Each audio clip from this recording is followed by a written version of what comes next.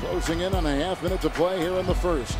Ready four turnovers for the Clippers here in this first quarter. Aggressively, Monte Morris takes it in for two, and he has now uh, tried to penetrate and been successful, Reg, twice. Will Morris take the shot down to four. He's in the lane, and he's going to drive, lays it up and in, work that clock perfectly. Monte Morris with five big points in the last minute of play.